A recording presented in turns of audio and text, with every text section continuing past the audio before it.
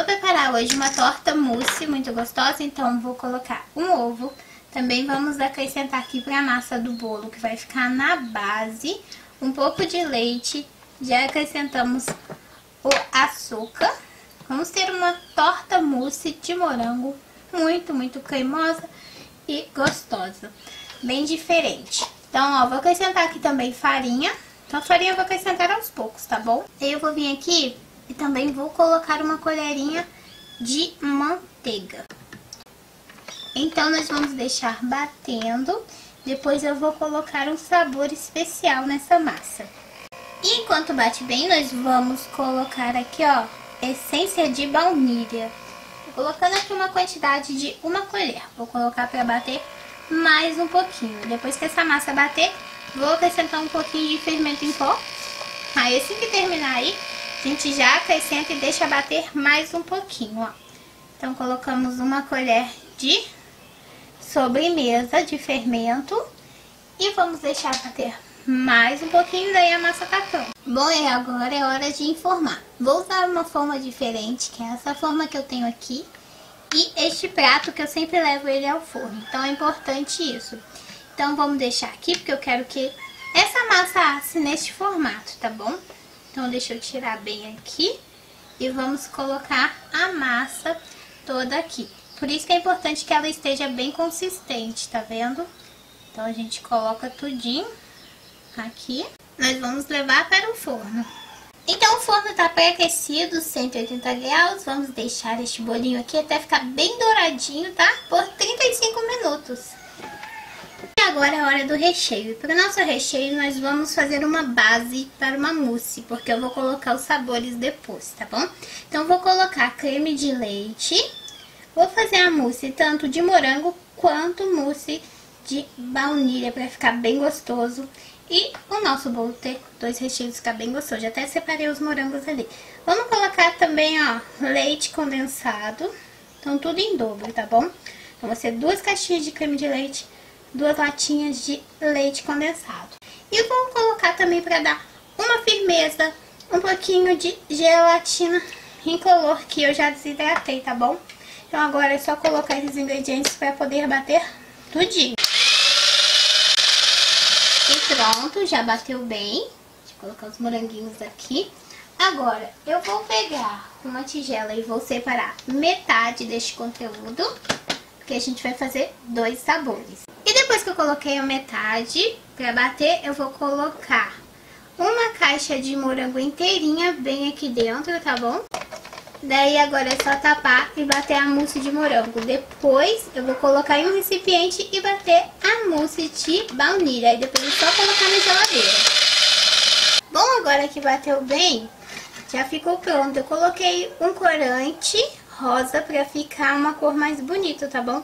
Daqui eu vou levar pra geladeira. Bom, então vamos deixar aqui na geladeira por algumas horinhas a nossa mousse. É bom que dá tempo do nosso bolo esfriar.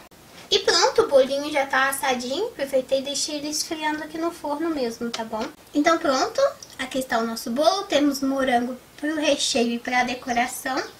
Então agora eu vou começar colocando aqui um pouquinho da mousse de morango, uma colher bem cheia.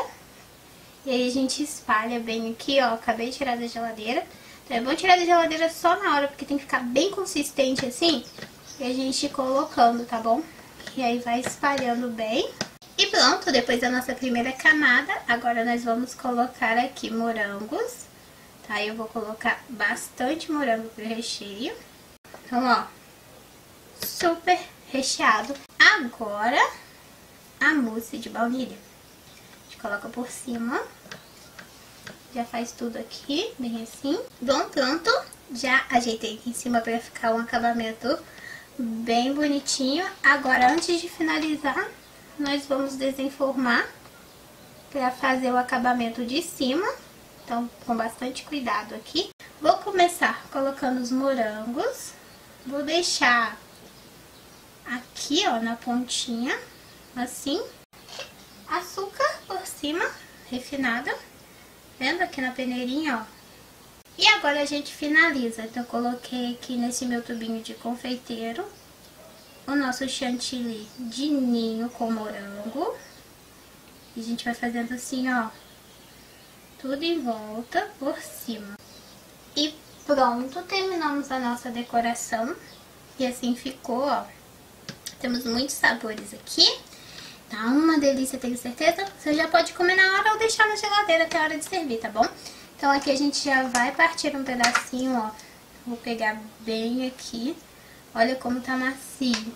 Deixa eu segurar aqui, porque tá tudo bem geladinho. Super gostoso para esses dias que estão bem quentes. Então, ó, vamos pegar um pedaço bem grande. Olha só essa delícia. Hum. Então aqui, pronto. Vou pegar o pratinho pra gente poder servir. Colocar aqui do lado. Vou pegar com a faquinha mesmo. Com bastante cuidado, ó. Olha só o meio. Quanto morango, a mousse por baixo, bem aqui. Olha que delícia. E a outra mousse por cima. Já deu pra ver, tá? Bem bonito esse pedaço, olha só. Aqui o meio. Agora vamos ver a textura. Vou até pegar um garfinho aqui, temos o bolo. Mousse de morango, morango, mousse de baunilha, mais morango por cima, olha só. Olha que delícia. Hum. Então agora chegou a melhor hora de todas, que é a hora de comer. Eu vou preparar danoninho de leitinho. Fica super gostoso e é bem fácil de fazer. Primeiramente, eu vou colocar aqui leitinho, 4 colheres bem cheias. E vou acrescentar o leite condensado. Daí a gente vai fazer um creme de ninho para ficar bem gostoso. Deixar bater durante 10 minutinhos esse leite condensado. Então aqui é só colocar para bater e deixar bater bem. Porque vai ficar muito cremoso e muito gostoso. Então eu deixei bater bem até ficar bem cremoso. Depois eu vou acrescentar um pouquinho desse iogurte grego. Prontinho? Tiramos aqui, ó. Olha como ficou bem cremoso. Ó. Hora de acrescentar aqui o nosso iogurte grego. Agora a gente mistura bem até incorporar todos os ingredientes junto, ó. Depois de misturar bem, ele chega a essa textura aqui, ó. Eu gosto dele mais cremosinho, tá vendo? A ponto de colher. Então essa receita, ela rende duas porções para esse potinho aqui bem grande, tá? Então, ó, colocar aqui, depois a gente põe na geladeira para poder encorpar um pouquinho mais. Ó, vou colocar um tanto assim. Mais um pouquinho. Prontinho. Daí, a gente vem aqui, ó, com esse cheirinho que são amendoins. E fica super gostoso, bem crocante, gosto de colocar, porque eles permanecem crocantes. E fica uma delícia. Então a gente coloca bastante e vamos conservar, ó, na geladeira. Tá vendo? Até a hora de colocar na lancheira. Hora de preparar sanduichinho salgado, bem gostoso. Eu tenho aqui as minhas bisnaguinhas, que eu já deixei ali separadinha. Vou fazer algumas com patezinho de presunto, queijo. Tô picando aqui, ó, esse picles adocicado que fica muito gostoso. Já deixei aqui, ó, presunto, queijo, ervilha e temperinhos, tá? Coloquei alguns temperinhos bem gostosos. E aí deixei por aqui. Vou fazer com maionese, porque maionese fica muito gostoso. Dá pra fazer também com creme de leite, tá? A maionese tá aqui. Prontinho, vou pegar esse potinho, porque a gente coloca todos os ingredientes bem aqui, ó, desse jeitinho. E aí, a gente coloca algumas colheres de maionese. Como eu falei, creme de leite fica muito gostoso também. Mas eu adoro maionese, olha só. Essa maionese tá muito gostosa, ela é de leite. Então, deixa tudo muito mais delicioso. Aqui é só misturar tudinho até incorporar, ó, todos os ingredientes, tá? Nosso patê de presunto com queijo e especiarias muito delicioso já ficou pronto. Eu tenho aqui também ó, presunto. E daí eu vou cortar uma fatia assim ao meio pra gente colocar no meio dos nossos sanduíches, tá? Só partidinha assim. Vamos pegar um pãozinho, a gente parte nossa mini bisnaguinha ao meio, bem assim, ó. Vamos pegar aqui um pouquinho do nosso patezinho para colocar. Vamos passar aqui. Opa, deixa eu segurar porque eles são bem pequenininhos e fica muito gostoso assim, sendo pequenininhos, tá vendo? colocamos aqui pra ficar mais recheado mais um pouquinho. Ó, aqui em cima desse patezinho que a gente prepara bem rapidinho, muito facinho, ó. E fica assim, tá vendo, olha? Então já peguei a lancheirinha já com a divisória, porque do ladinho de cá nós vamos colocar os nossos mini sanduíches. Vem aqui, assim. Também vou colocar já separadinho, ó, coxinhas. Essas coxinhas eu fiz na airfryer, tem receitinha já por aqui.